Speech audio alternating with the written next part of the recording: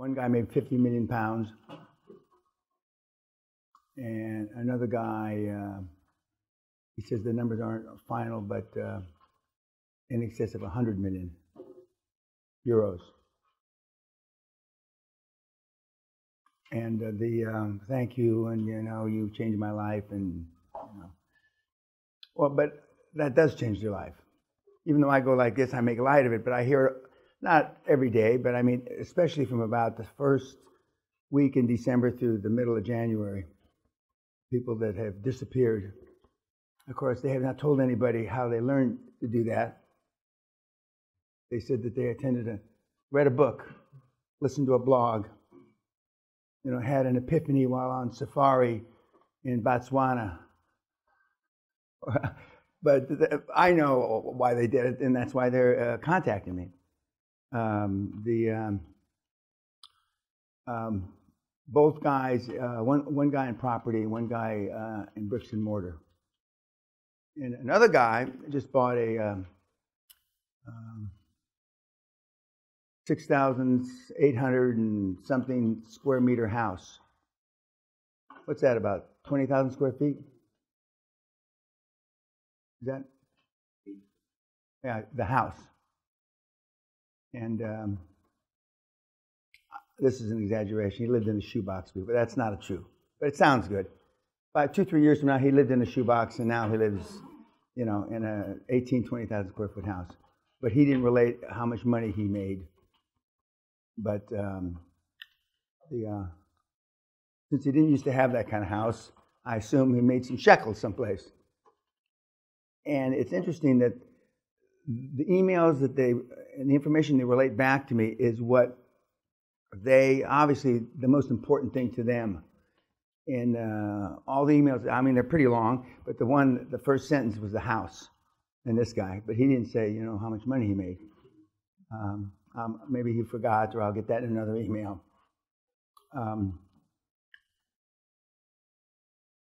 another guy who uh, was uh, from some little village in some place, and you know. Uh, but this was dirt on the floor. This wasn't. This is an exaggeration. Uh, he didn't say how, the size of the deals he was doing, but he's doing deals. And thank you, Mr. Peña. Yada yada yada. Now, the um, and all three of these are guys that uh, haven't I haven't seen in at least two or three years, maybe five years everybody doesn't do it like a, a jackrabbit out of the um, starting box. And, it, and I told you the first or second day of the regular seminar that some are going to come out screaming. I mean, you, you won't even see the dust, you know, uh, that you're in, this, in your, you're on the same track. And some will come out like the um, uh, tortoise and tortoises and tortoises, uh, plural tortoise, Turtles.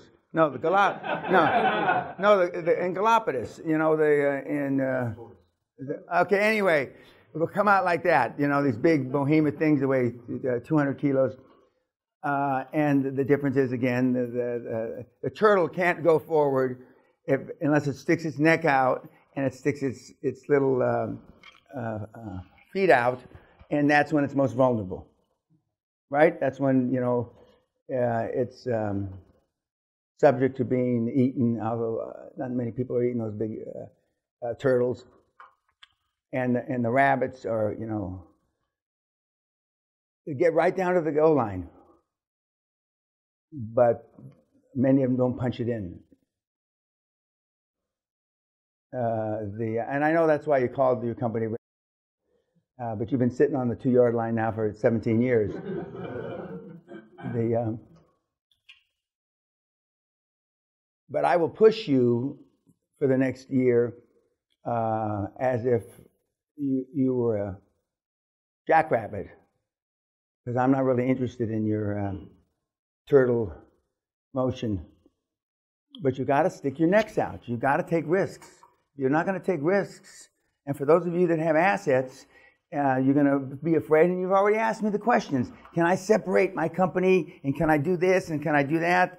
And so they don't get it, and I put it in my wife's name because you're afraid. You're afraid you're going to fuck it up. You got all of the kinds of rationale why you want to do that. But if you were if you're reasonably sure and balls to the wall, you just lay your balls out on the uh, and go. But we know that you're not, because you don't. I've heard probably a thousand ways. Uh, can I do this without, you know, but the real question is, can I do it without taking risk? Or can I do it without taking risks that I'm going to risk my little pennies that I have over here already? That's the real question, but you don't ask me that way. And some of you, in you poke fun at some of you in here when the, you've asked the question. But the bottom line is, if you were absolutely sure, or somebody had a gun at the back of the head of one of your children, Bill, if you needed uh, uh, $100,000 cash in 48 hours and somebody uh, is going to blow your kid, uh, your son's, uh, one of your kids' uh, brains out, somehow you'd come up with $100,000 cash. So, I mean, same for all of you. So if you acted as if every day was your last day, you'd get this done in weeks. Weeks. And you wouldn't, you spend a lot less time reframing the questions. In fact, you'd spend no time reframing the question. You know, you think, well, what if that asshole, he, he gets a twitch or he gets a hiccup and he pulls the trigger? And just like when, you know, uh, you heard my story, why I don't do drugs. My dad put a gun, loaded gun to my head. He said, there's only one cure for motherfucking drugs. It's a motherfucking bullet in your motherfucking head, and I'm the motherfucker that'll put it in your head.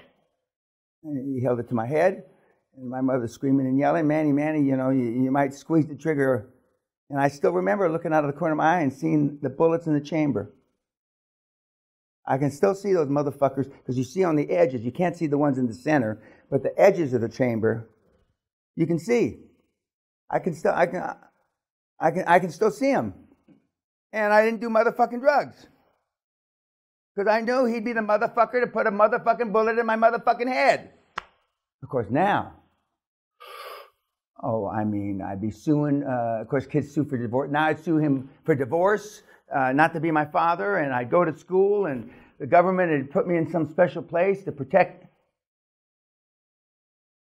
And so now we've come all the way. And my, my dad would say to, to your parents, if they were contemporaries, well, how's your program working out with the dipshit with the fucking thing on his head? You know? How's your program coming, working out with. Uh, uh, the reframer. Uh, and if your parents were candid, they'd say, well, it didn't work out like I thought. You know, it turned out to be a weenie. By the way, now the, um, the uh, QLA for dummies and the snowflake test are just dwarfing everything else vis-a-vis uh, traffic. I mean, they're just dwarfing it. I don't know if it's a, the Christmas season or something, holiday season that, you know, but a lot of people set goals and they're going to change things in the new year. I think that's what the site's suffering from.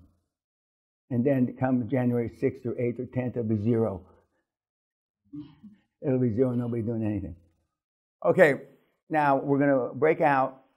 Uh, does everybody uh, understand the first case that they're working on? And if you got through your first second case. You just go on to the to third. the third. Yeah, In the order that's on. the Correct. script. and some of you are, are gonna, we're gonna hear two or three of the cases more than once. And that's on purpose, on purpose.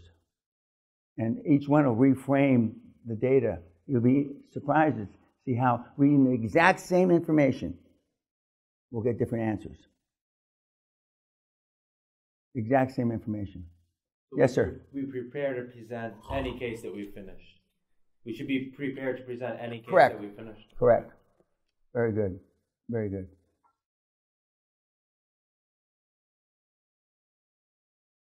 You should have seen how he dressed when he first came here. But anyway, now we got to work on your hair Yeah, in know, I 2018. I mean, in 2018, we got to work on your hair. Uh, you know.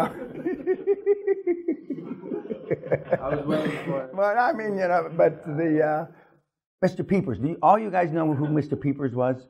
He was a scientist guy in the 50s and 60s. He had a show. He doesn't look like him. But, uh, but uh, back there, uh, the uh, British bow tie with his glasses, that's what Mr. Peepers looked like. Mr. Peepers was a scientist, you know. And, uh, the, and he'd get up there with his little pointer and he'd point to, you know, this is an amoeba and this is this, and that. And but I guess the program never got any place other than the United States. But when Mr. Peepers died about five years ago, I mean, uh, gen- he had taught generations. It was like the first thing um, before you go to school, uh, you'd see in preschool, you'd be watching that. But um, okay, no questions. Okay, YouTube, thank you. Have a happy holidays and go fuck yourself.